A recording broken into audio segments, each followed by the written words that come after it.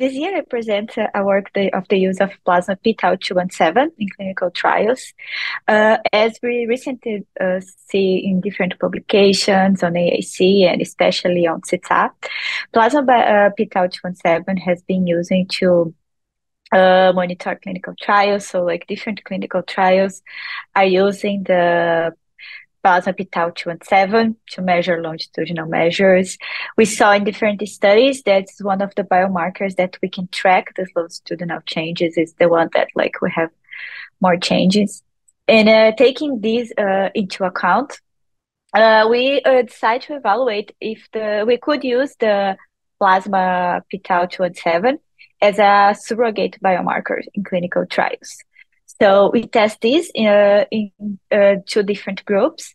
That was the, the um, cognitive unimpaired individuals and the cognitive impaired individuals. So like we would uh, want to know like uh, if, if we could use the these biomarkers in different groups.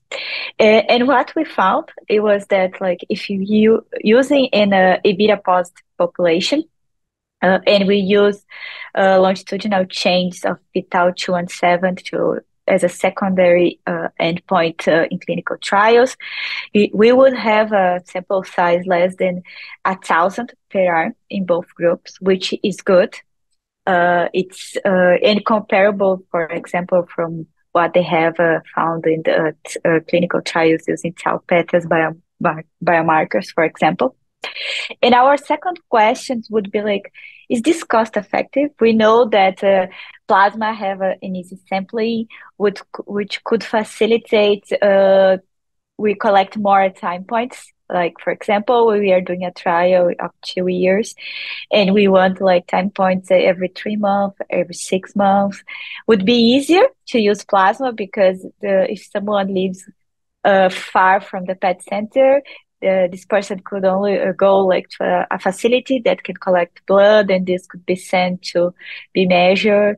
Uh, it's easier to do like a blood sampling than a PET scan, cheaper, uh, more comfortable for the patient. So we calculate the cost of using the plasma p-tau217 uh, as a surrogate biomarker. And for both groups, cognitive unimpaired and cognitive impaired individuals, the cost was of the trial, consider only the individuals that were recruited for do the trial, uh, would be cheaper than using the, the tau PET.